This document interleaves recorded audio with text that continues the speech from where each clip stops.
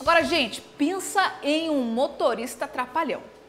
Um momento de descuido e o carro só parou ao bater em cheio na entrada de um motel em Londrina. O problema é que, além do prejuízo com o carro, quem estava tentando entrar no motel ficou impedido até que o veículo saísse do local. Coloca na tela a reportagem.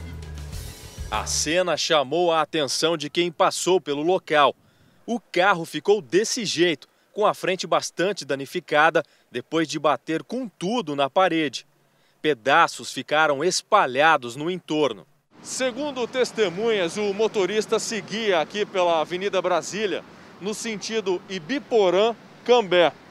Depois do cruzamento ali com a Avenida Duque de Caxias, onde tem o semáforo, ele perdeu o controle, passou por cima dessa mureta, atravessou a pista marginal e bateu com toda a força aqui nas paredes da entrada do motel. Os airbags do veículo se acionaram no momento da pancada. O motorista, William Celso, de 30 anos, foi atendido pelos socorristas do CIAT.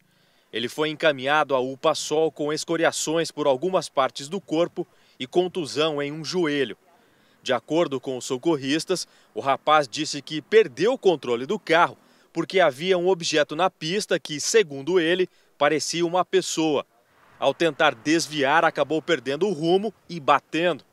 Prejuízo grande também para o motel. Além de ter a entrada destruída, ficou horas sem receber clientes.